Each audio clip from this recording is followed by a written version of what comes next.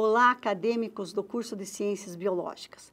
Hoje nós vamos trabalhar a operacionalização do estágio supervisionado em Ciências Biológicas 1.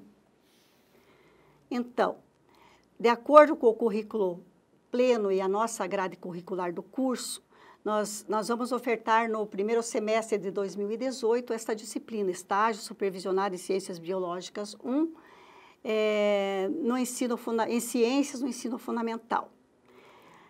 Nós vamos ofertar concomitante cinco unidades de estudo na plataforma Mudo, da Unicentro, e o estágio no espaço, no espaço escolar, na disciplina de Ciências no Ensino Fundamental, com uma carga horária de 100 horas.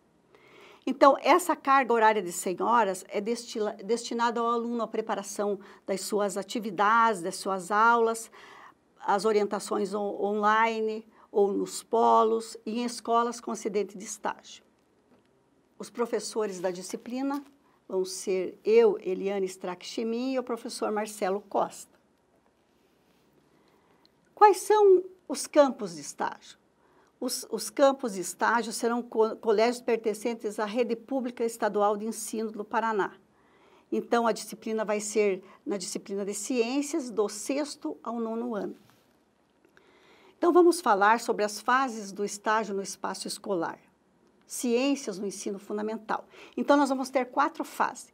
A primeira fase é a observação, a segunda fase é a coparticipação, a, ter a terceira fase é a regência de classe e, e, a última fase, a quarta fase, é a elaboração de projetos de ensino. Vamos é, explicar o que vai ocorrer em cada fase. A fase 1 é a fase de observação. Nós, nós vamos fazer ela em dois momentos. A observação de quatro horas, aula de ciências no ensino fundamental, em cada série. Então, uma observação na sexta, uma na sétima, uma na oitava e uma no, no nono.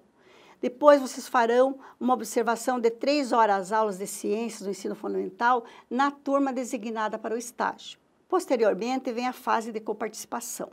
Nesta fase, o aluno vai coparticipar junto ao professor da disciplina na turma designada para o estágio durante três aulas. Então, agora vamos falar sobre a fase 3, que é, é a fase de atuação ou regência de classe. Nessa fase, vocês vão ministrar seis aulas de ciências no ensino fundamental na turma designada para o estágio. E, finalmente, vem a fase 4. A fase 4 está relacionada com a elaboração de, de projetos de ensino, de projetos especiais.